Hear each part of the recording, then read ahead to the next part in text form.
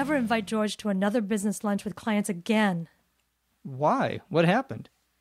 George has the worst manners of anyone I know. First of all, he was ten minutes late. And as soon as he sat down, his cell phone rang and he answered it. Maybe it was an important call?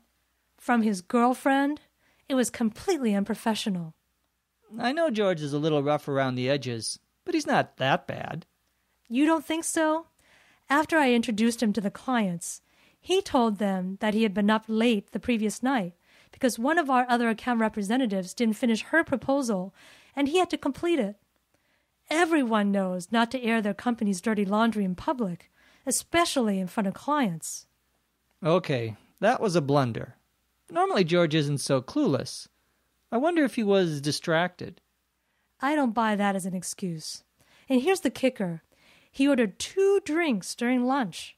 If that weren't bad enough, when he ordered the second one, he jokingly thanked the clients for paying for lunch. Of course, our company was picking up the tab since we invited them. I was mortified. I'll admit that was bad. Very bad. Are you going to have a talk with George? I will as soon as I calm down a little. I'm seeing red right now. Then waiting a little while is a good idea. I'd better go warn George.